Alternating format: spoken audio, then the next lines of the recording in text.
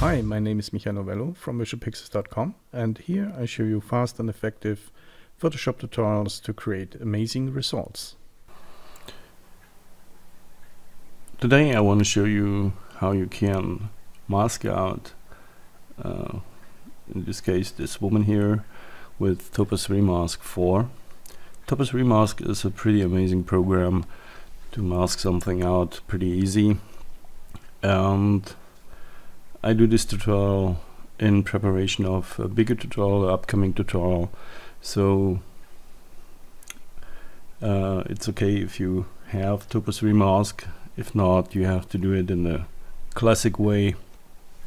But I think Topaz Remask is an affordable tool which you can buy for really cheap uh, in comparison what it does and how much time it saves.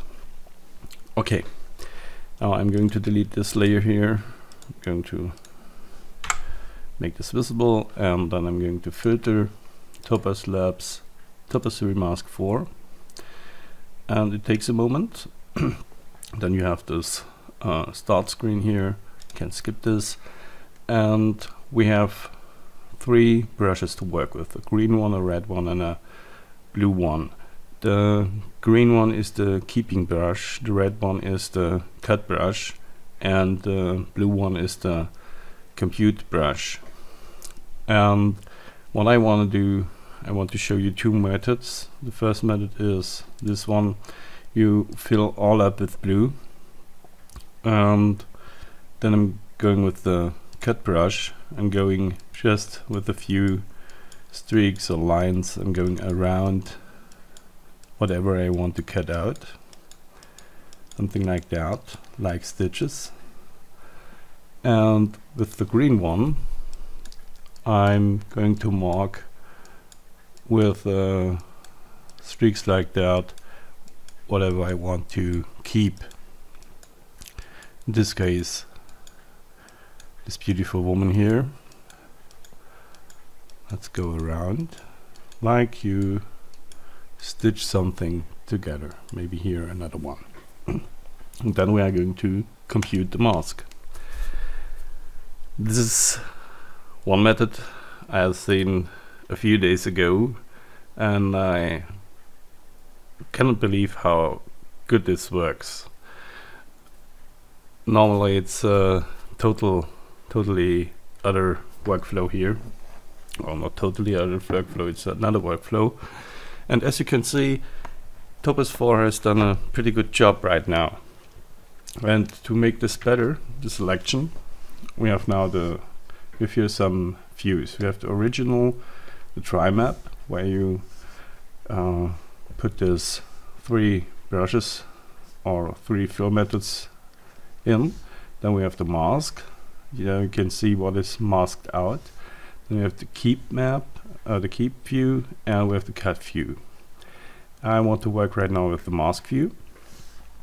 Here you can split your screen into uh, views. Can go with the keep and here with the mask or vice versa. With the keep here and the mask here. Whatever you prefer. In my case, I prefer to look at two images so I that, that I can see what I'm doing. it's uh, in this case it's not so important, but if you have some difficult cases, um, like in my previous tutorial, the Dark Queen, to cut out the the woman in this um, in this scenario, it's much more difficult because there are much more darker parts. The difference between the background and the foreground model in this case is not so um, widespread uh, like here, here it's a really uh, scene-able uh, difference between these uh, two color colors here. Okay, let's move on and let's go with the cut brush. I just click in there and then I see what Topaz is doing. It computes always here on the button. It takes a lot of uh, system um, capacity on the processor. So um, if you have a lot files open in the background or a browser like me, it's a good idea to close them. And yeah, th then it, Topaz is much faster. So now I'm going to make a line here and another and just go just going around the model and let's see what Topaz is doing. And does a real good job as you can see. And with the space bar you can get this little hand and you can move the model around. And as you can see on the hairs it's a real real cool job what Topaz has done. You never get this uh, precise result in this short time.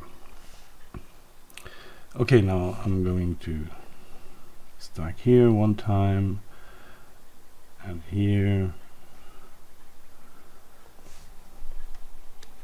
and Topaz is calculating while I'm doing my cut job here like that and now I'm going to the keep brush and I'm going into the white and I'm going to make here some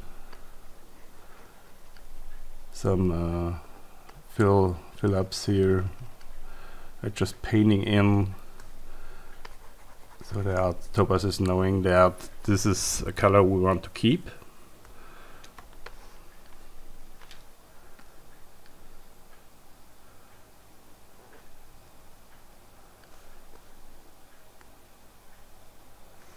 And it's okay if the shadow here on the bottom is a little bit present because we need this shadow. So it doesn't matter if the here is a little bit of transparency in this part of this shadow is not gone totally. So for me it's okay like this. But here on the knees it's not okay. You can as well you can work here on this area. You can paint here on this side you don't see uh, the mask but uh, it works as well. So you can always work on on this side or on this side. Doesn't matter. Okay and now I have I think I'm finished here. It's not perfect but uh, we can work more on this. But this is one method. And the second method is you I delete this image here and again to Topaz Remask and now I'm going with the classic method oh, this is the method uh, in most tutorials are shown. Um, I'm going with the compute brush. I'm going to make a selection around the model here on the edges. So Topaz is knowing where Topaz has to compute the model or the, the, the, edge between the cut and the keep. So I'm going around just like this with a small brush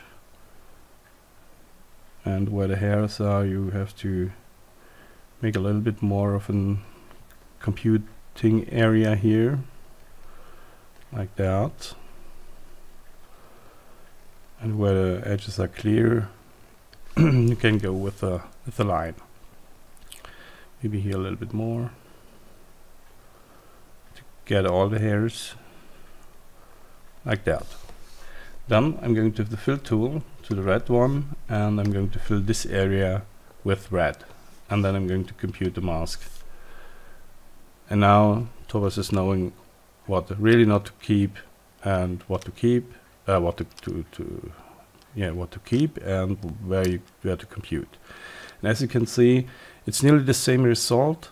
It's a little bit better here on the on the button here and on the hairs here we have we don't have this gray area here but here on the foot it's the same thing so we have to work on this as well again just go over the parts I don't want to have and over the parts I want to keep like that It's a little bit faster. you have to um, find out for yourself which method is better for you. The first method with the stitches or this method. Both of these methods are working well and we can click OK and there we are. This is the before and this is the after. Thanks for watching. Bye. Thank you for watching my videos. Um, if you like my videos you can subscribe to my channel right here in the middle and my last two videos you can find here and here. And if you really like my videos you can support me on patreon.com, here's the link. And thanks again and see you next time. Bye.